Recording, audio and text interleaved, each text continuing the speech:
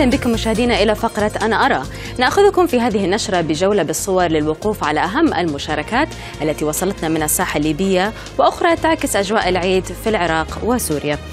البداية مع هذه الصورة التي وصلتنا من سامي علي من ليبيا يوثق فيها المظاهرات التي خرجت مساء أمس في ميدان الشهداء بمدينة طبرق شرق البلاد حيث حمل أهالي المدينة لافتات رافضة للتدخل الأجنبي في شؤون بلادهم وداعمة للقيادة العامة للجيش الليبي.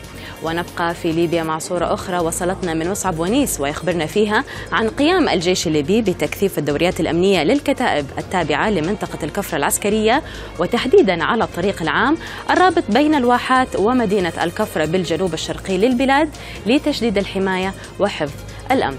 ومن ليبيا ننتقل إلى العراق مع هذه الصورة التي التقطها لنا ثامر بعدسته ليعكس لنا آثار الدمار التي حل بمدينة الرمادي بعد انتهاء العمليات العسكرية هناك حيث انعدمت أجواء ومظاهر العيد في المدينة وسط الدمار الذي لحق بها وعودة الأهالي بعد نزوح دام لأكثر من سنتين بحسب قول المرسل.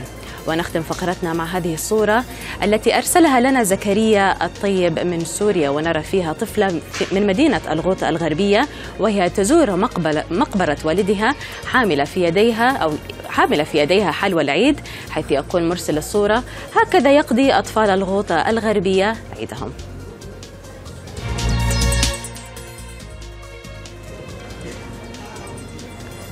والمزيد من الفيديوهات والصور يمكن متابعتها عبر صفحة أنا أرى على موقع العربية دوت نت.